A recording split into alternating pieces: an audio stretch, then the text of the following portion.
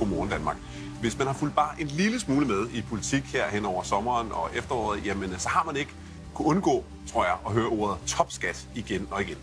Ja, for topskatten, det er jo altså den skat, som cirka hver tiende danske statsborger betaler, og det er altså dem, som tjener over 467.300 kroner. Og øh, det er altså øh, noget, som øh, får bølgerne til at gå højt. Ja, det er i den grad øh, anledning til et øh, godt gammeldags politisk skænderi, kan man sige. Ja, og hvis man så lige prøver at skære igennem alle de her mange økonomiske beregninger, hvad er så egentlig argumenterne for, at vi har topskat i Danmark? Altså, hvad er for og imod? Det øh, vil mine to næste gæster hellere end gerne svare på. Mette Frederiksen, godmorgen og velkommen. Godmorgen. Og Anders Samuelsen, godmorgen og velkommen til dig også. Jeg starter lige hos dig, Anders Samuelsen, for der er jo ikke nogen i Danmark her, der er i tvivl om, at hvis det stod til dig, så sløjfede vi topskatten fuldstændig. Hvorfor egentlig? Fordi at den koster os velstand. Ifølge de ministerier, som Mette selv uh, sad i spidsen for, da hun var i regering, så er det sådan, at uh, hver gang vi får en krone ind uh, i topskat, så koster det os to kroner i velstand. Det vil sige, at vi får ringere muligheder for at skabe beskæftigelse, for at uh, skabe nye arbejdspladser og få folk til at blive trukket ind på arbejdsmarkedet. Hvor, hvorfor koster det egentlig penge i velstand? Jamen det gør det, fordi at de er så utrolig ineffektive, de sidste kroner, vi hiver ind, øh, i forhold til den gevinst, man kan skabe i den offentlige sektor, sammenlignet med det, som man kan skabe i den private sektor. Så du synes, at pengene de skal blive ude på arbejdsmarkedet, og så kan de arbejde der, og så får vi mere vækst? Ja, det er den ene del. Altså, det er sådan den rent økonomiske del af det. Så er der selvfølgelig også en helt værdimæssige ting. Jeg synes, man skal betale meget lidt i skat, hvis man tjener meget lidt, og man skal betale meget i skat, hvis man, tjener, hvis man tjener meget. Men man skal ikke betale meget i skat, og så noget ekstra, sådan en form for dummebøde. Husk på, at der er rigtig mange af de mennesker, som betaler og bliver ramt af topskatten, bare nogle få år, de har inden da kæmpet måske 10-15 år, knoklet løs, for at komme op i en situation, måske med en lille iværksættervirksomhed, hvor de tjener gode penge, og har en chance for måske at få betalt lidt af på noget gæld, som de har bygget op osv.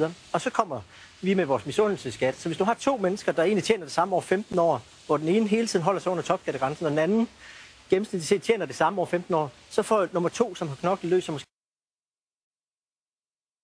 sat sig Det synes jeg ikke er rimeligt.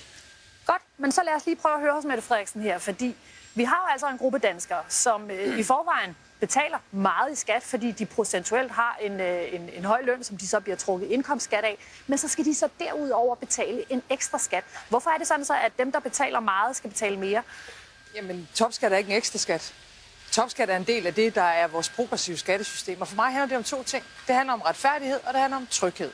Hvis vi skal have et velfærdssamfund, hvor vores skoler er gode, hvor der er tryghed omkring den enkelte ældre, hvor vi har fri og lige adgang til sundhed, så bliver vi jo nødt til at have en skattebase, der er stor nok, så vi faktisk kan finansiere vores velfærdssamfund. Og regnestykket er jo ret enkelt, at hver gang Anders får lov til at få en skattelettelse af Lars Løkke Rasmussen, 1 krone eller 100 kroner, så er der en krone eller 100 kroner mindre til det, vi er fælles om. Så det er trygheden. Så er der retfærdigheden. At jeg er jo stolt af Danmark, hvor det er sådan, at dem, der tjener mest, også bidrager mest til vores fællesskab. Og vi har jo igennem generationer opbygget det, man kan kalde et progressivt skattesystem, nemlig at jo flere penge du tjener, jo mere betaler du også. Det er jeg, jo, jeg, jeg kan jo godt lide den tanke. Jeg synes, det er stærkt, at dem, der godt kan, de skal, og dem, der kan bidrage mest, også får lov til at bidrage mest. Men hvis man taler om retfærdighed, vil retfærdigheden så ikke være, at man betalte altså den samme procentsats, og så var det selvfølgelig ens indkomst, der bestemte, hvor meget det så var, man afleverede? Nej, det vil det ikke, fordi jo mere man kan, jo mere skal man også bidrage til vores fællesskab. Og sagen er den, hvis vi, så, hvis vi tager, hvad er, det, hvad er det for en situation, vi står i som, som samfund, og, og som land, hvad er det for en opgave, vi egentlig skal løse her i efteråret, så har vi jo et velfærdssamfund, der er under pres. Jeg tror, at de fleste kan ikke genkende til det. Der bliver skabt nogle gode resultater. Men når vi så hører, at der er sygeplejersker, der har behov for at give øh, patienter for meget medicin ned på Køge sygehus, så har vi jo behov for at satse mere på vores velfærdssamfund. Vi har også behov for at skabe nogle flere arbejdspladser. Det er nok noget af det, vi er enige med hinanden om, at vi har behov for. Så tror jeg bare, man må sige, at de få penge, vi har at gøre godt med i de kommende år, de er meget bedre brugt på at understøtte danske virksomheder i at skabe flere arbejdspladser, end i at tage øh, en, en, en, en velfærdsforringelse og give til, til dem, der i forvejen har mest. Den smider vi lige over bordet her igen, fordi Anders Samuelsen, det der jo dybest set bliver sagt, det er jo det her argument, vi også nogle gange bryster os af i Danmark og siger, det er de bredeste skuldre, som skal, som skal bære mest.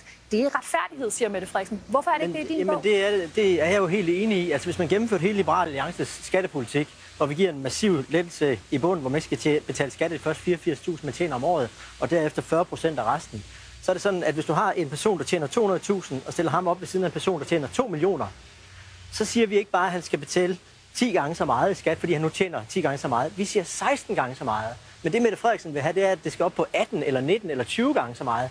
Hvorfor? Derudover, de argumenter, som Mette lige har fremført, det er jo præcis de samme argumenter, som du brugte dengang, da vi ville sænke registreringsafgiften på biler. Det vil koste statskassen penge. Nu har vi så sænket den til, fra 180% til 150% og nu kommer tallene. Det viser, at vi får flere penge ind i statskassen nu, efter vi har sænket registreringsafgiften. Altså flere penge til den velfærd. Og så som det sidste, vi skal lige have proportionerne i orden her. Vi får over 1000 milliarder kroner ind i statskassen om året. 1000 milliarder. Op nærheden af 1100 milliarder.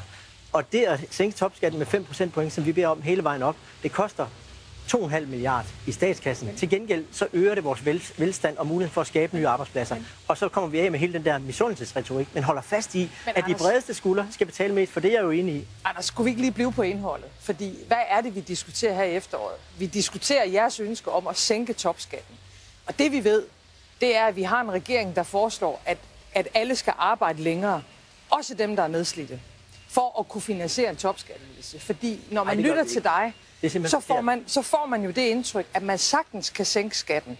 At man kan udhule vores skattebase, uden at det har nogle konsekvenser. Sådan er det jo bare ikke i virkelighedens verden. Men det Fordi hvis der er færre, Anders, hvis der er færre penge til børnehaver, så går det ud over nogle børn. Hvis der er færre penge til sundhedsvæsenet, så går det ud over Men nogle syge. Plade, den Derfor bliver du nødt til at være ærlig, at når man sænker skatten, så er der også færre penge Men det til fællesskabet. Men det, det, det var præcis det samme, du sagde da vi sænkede registreringsafgiften. Du råbte Ferrari-reform og alt muligt andet. Og du har jo tallene nu. Du har jo set, at fordi vi har nogle skatter i Danmark, der simpelthen er så høje, at, at de trækker vækst ud af samfundet, så kan det betale sig at sænke dem. Der kommer, der kommer faktisk flere penge ind nu. Og du går jo ikke til valg på at hæve registreringsafgiften igen. Gør du det? Men det kan du lige svare på. Ja eller nej. Ønsker du at hæve registreringsafgiften igen? Du kaldte det jo en Ferrari-reform, og den vil trække velfærd ud af statskassen. Jamen, Går du til valg på det? Ja eller nej? Jeg vil meget gerne diskutere registreringsafgiften. Hvis kan du ikke bare det, svare? Skal, og jeg Går du til valg på at hæve det, den igen? Det, det, men det skal vi sådan set ikke diskutere, men jeg vil til gengæld Ej, gerne det kan høre jeg forstå. Men jeg vil gerne høre dig til, hvis nu der kommer flere penge ind i statskassen, kan vi så ikke på den måde skabe noget vækst?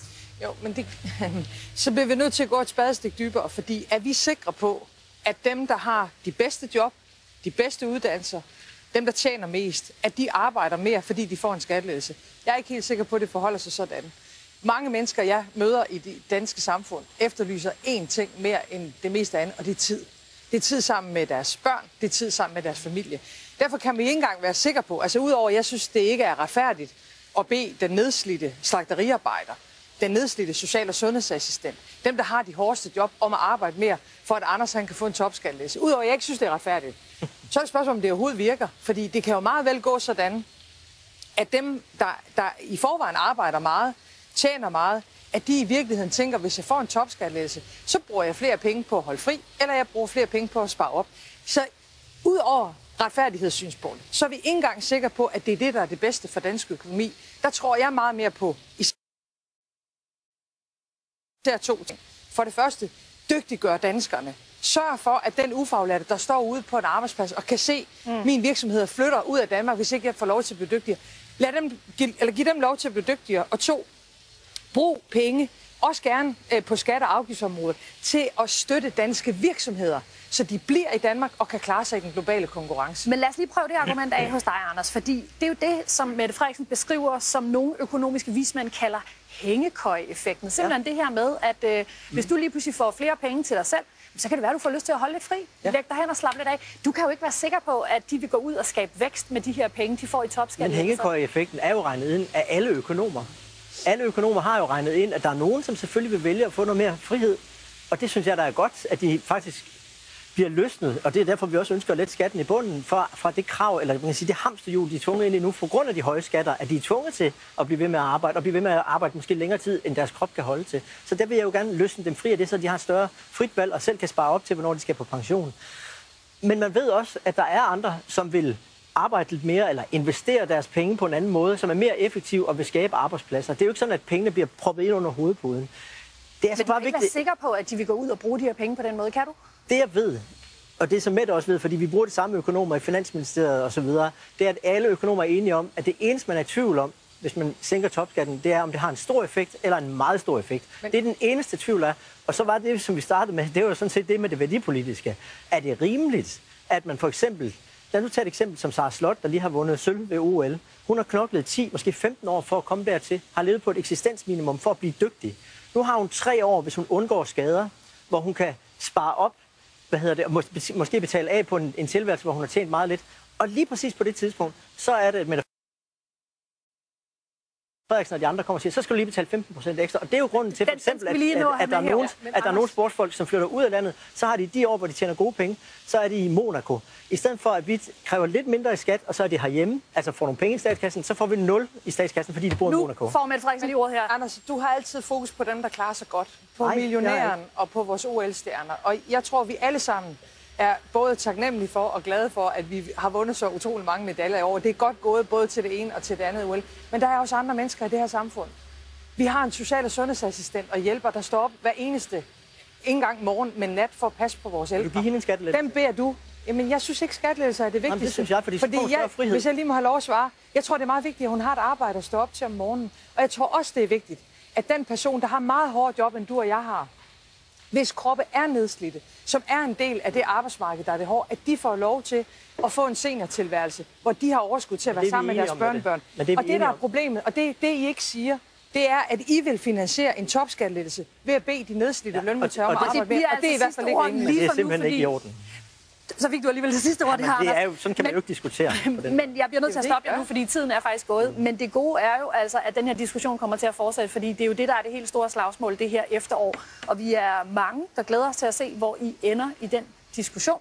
Så forløbig tak for også at have taget den her. Selv tak. Selv tak. Nu skal vi